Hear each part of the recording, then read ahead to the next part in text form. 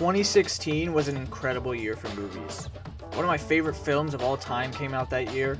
The same year, we had the first R rated superhero blow up the box office with the fantastic Deadpool. Add to the list Moonlight, Hell or High Water, 10 Cloverfield Lane, and many, many more memorable films. But one of 2016's best comedies, Shane Black's The Nice Guys, is a blast.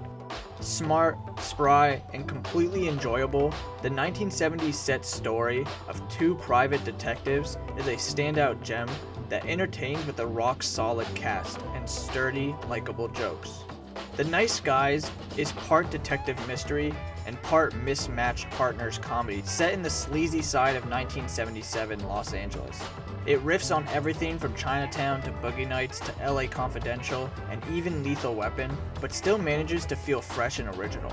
Russell Crowe stars as Jackson Healy, a local enforcer for hire who must team up with the PI Holland March, who is Ryan Gosling, and his wise beyond her years daughter Holly to help untangle a web of corruption involving a dead porn star, a missing film, and the missing daughter of a high ranking government official. There's no other way to describe it. The Nice Guys is ridiculously fun. It's a solid two hours of non stop enjoyment with a couple of flaws here and there. Before talking about those issues though, let's focus on what makes this a truly brilliant summer blockbuster. Or at least what would make it so if, if audiences had embraced it upon its initial release. Instead, it will have to be content with its ranking as an underseen gem. Black's direction and co written script make The Nice Guys a winner, with a constantly charming plot jam packed with jokes. The noir plotline keeps the audience on its toes while the characters and the audience are kept on the same page. The 70s atmosphere is a welcome change, although a few awkward references to the modern era still appear and stick out like a sore thumb when compared to the constant stream of humor. Gosling puts in an outstanding physical performance, getting to really show the comic chops that he's hinted at in the past, and Crowe makes the perfect straight man, but the star of the show has to be Young Rice as Gosling's daughter Holly, who outshines her more famous co stars and somehow manages to keep the film grounded. The film also features some memorable villains played by the likes of Matt Bomer, Kim Basinger, and Beau Knapp, who each get a chance to shine, and the whole scene set at the party will go down as one of my favorite scenes of that year, just with so much great dialogue.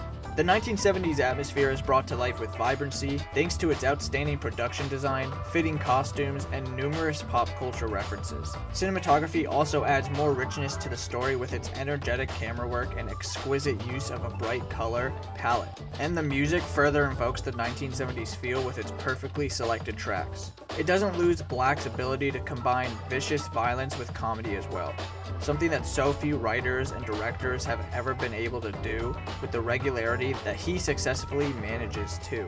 It's genuinely bracing at times, but not at odds with the comedy because he's so adept at showing how brutal a business Gosling and Crowe are involved in, and also what a pair of money grabbing murderous bastards they are.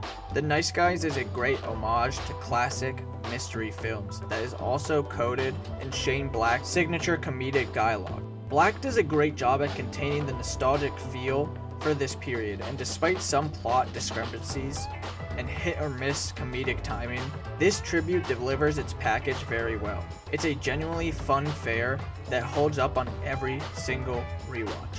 Here we go.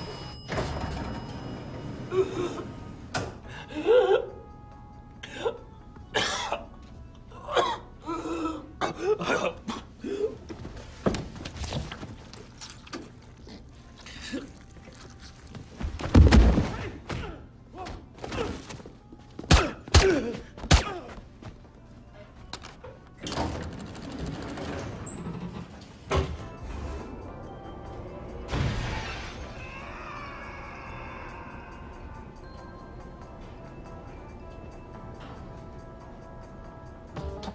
Tune in every Friday for new movie videos. Please like, share, and subscribe. Comment down below what other movies you would like me to do videos on. Thank you, Mom, for editing the scripts for my movie essays. I appreciate you. Till next time, thanks for watching.